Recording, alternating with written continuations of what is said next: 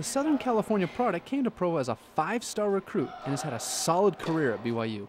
The WCC picked the Cougars to finish fourth in the preseason poll, but Poulsen is looking to pull a Peyton Manning and go out on top. So my whole motto this year is make the most of it because it's my last year and I don't want to like get angry or get like down because I don't want to have any regrets by the end of the year. So I'm like, have a good attitude, have fun. So I feel like I want to have that vibe with all my teammates and show them that they can have a good time and not get like upset over something stupid. The Cougars host Denver tomorrow in their first home match of the season. They're hoping to have a large crowd and they're bringing pizza as an added bonus.